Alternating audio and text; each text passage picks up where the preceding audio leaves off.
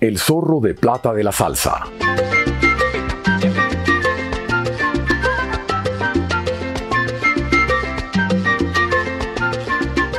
Johnny Pacheco, Juan Azarías Pacheco Nipin, nació en la República Dominicana el 25 de marzo del año 1935 en Santiago de los Caballeros. Falleció el 15 de febrero del 2021 en New Jersey, en un hospital. Una pérdida grande para la música caribeña, para la música afrocubana.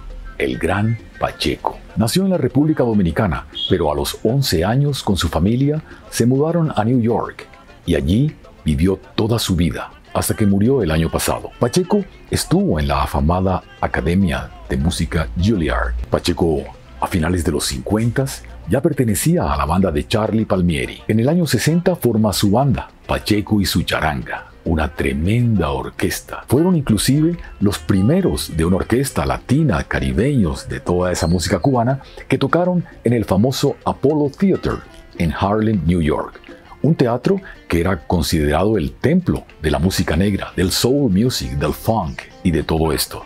Tocó por todas partes y viajó por todo el mundo. Y en el año 63 conoce al abogado Jerry Masushi y fundan la empresa Fania, Fania Records.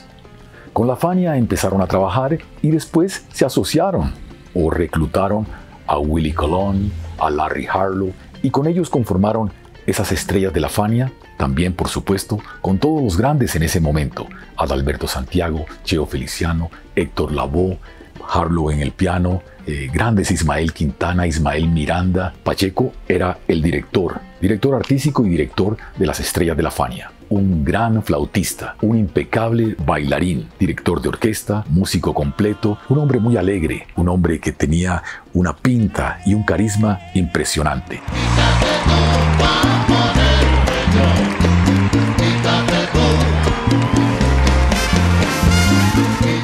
Pacheco es un referente para todos los amantes de la música caribeña, de la salsa, de la música afrocubana. Pacheco es un nombre que quedará o quedó ya impreso por siempre en el mundo de la música caribeña. Con la Fania grabó muchísimos discos también, colaboraciones con grandes artistas y por supuesto lo que hizo con la Fania All Stars. Viajaron por todo el mundo y hay películas, la película Salsa, a Latin Film, es como una historia de la gente, de los jóvenes, de la onda latina en New York, una ciudad complicada donde llegaban todos los latinos buscando un mejor futuro. Gente de Puerto Rico, de la República Dominicana, de Centroamérica, de Cuba, todos llegaban a New York en busca de algo mejor. Allí estaba la música, allí era que estaba pasando todo. Pacheco fue uno de los grandes y también un artista que tuvo que ver con la salsa, el nombre salsa y lo que representó dentro de la música latina.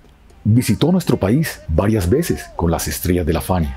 Inclusive en el año 2009 creo que fue la última vez que vino y ya se notaba que estaba un poco apaleado, porque me imagino que fueron muchos años de fiesta, de rumba, de viajes, de toques con el gran Pacheco.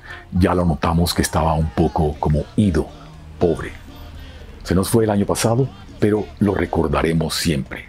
El gran Pacheco, Pacheco Nippen. Su madre era de ascendencia alemana y francesa. Su padre fue músico también. Pacheco hizo de todo. Era un gran amigo de Papo Luca, de Peter Conde Rodríguez, de Doña Celia Cruz, de todos al Alberto Santiago y con todos ellos grabó muchos discos. Pacheco es un hombre para chequear, para recordar, es un hombre que está dentro de los grandes de la salsa y estará siempre. Lo recordaremos siempre a este zorro de plata, el gran Johnny Pacheco. Alegría, música, sabrosura en el mundo de la salsa. Gracias en la cámara a Esmeralda Rodríguez, Willy Vergara y el álbum de Willy. Hasta la próxima.